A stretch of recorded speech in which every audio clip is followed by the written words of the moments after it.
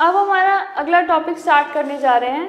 uh, ये topic है equivalent versions of Euclid's fifth postulate हमने यूक्लिड के फाइव पॉस्टुलेट्स देखे थे। जो फिफ्थ पॉस्टुलेट है वो आप जानते हैं it is the most important and the most complicated सबसे ज़्यादा कॉम्प्लिकेटेड पॉस्टुलेट जो यूक्लिड का है वो फिफ्थ पॉस्टुलेट है।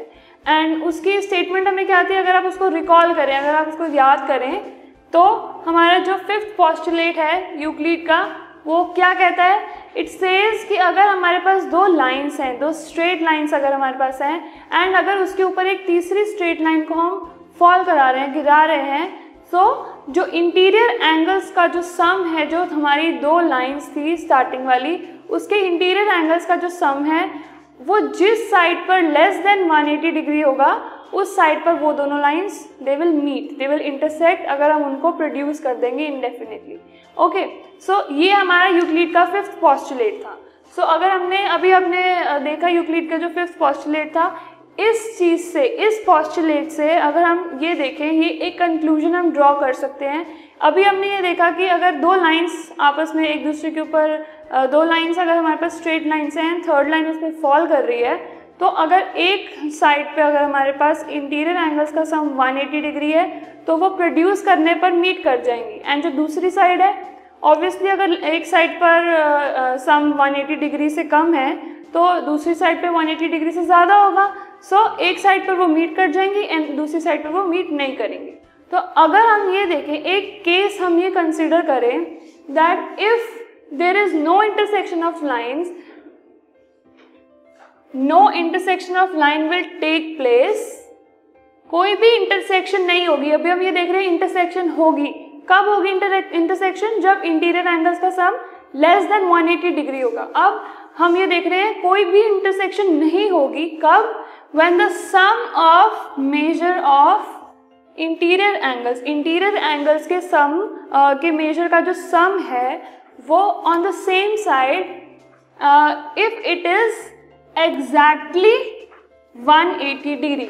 हमने ये देखा है कि अगर सेम uh, साइड पर इंटीरियर एंगल्स का जो सम है 180 डिग्री से कम होगा तो वो उस साइड पर अगर हम उनको प्रोड्यूस करेंगे इनडेफिनेटली तो जो लाइंस हैं वो मीट कर जाएँगे दिल इंटरसेक्ट पर अगर इंटीरियर एंगल्स का जो सम है सेम साइड का अगर वो 180 डिग्री एग्जैक्टली 180 डिग्री होगा तो वो आप उसको उनको कितना मर्ज़ी प्रोड्यूस कर लो इनडेफिनेटली इनफाइनाइटली अगर आप उनको प्रोड्यूस कर लो लेफ़्ट हैंड साइड भी राइट हैंड साइड पे, वो कभी भी इंटरसेक्ट नहीं करेंगे। They will never intersect so there will be no intersection of lines if the sum of the measure of the interior angles on the same side of the falling line is exactly 180 degree okay so ये हमारे जो fifth postulate है Euclid का, ये उसी का एक conclusion है। उसी से हमने एक कंक्लूजन ड्रॉ किया है। Fine so there are other equivalent versions other equivalent versions of this postulate okay बाकी जो उसके जैसे इक्विवेलेंट वर्जन मतलब उन्हीं के इक्वल उसी पॉस्टुलेट के इक्वल हमारे पास और भी बहुत सारे तरीके हैं इस पॉस्टुलेट को स्टेट करने के। Fine so one of these equivalent version is Playfair's axiom Playfair's axiom एक हमारा तरीका है जिसमें हम यूक्लिड के फिफ्थ पॉस्टुलेट को स्टेट कर सकते हैं। फाइन अब according to play Playfair's axiom for every line L अगर हमने एक जनरलाइज लाइन ले ली एल ये एक लाइन है हमारे पास एल एक जनरल लाइन है एल ठीक है?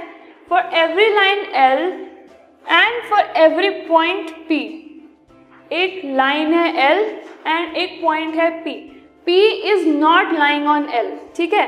एक लाइन एल हमने लिया और एक पॉइंट पी हमने लिया पी जो है वो लाइन एल के ऊपर नहीं है। Okay so it is not lying on L so there exist a unique line which passes through P and is parallel to L ठीक है?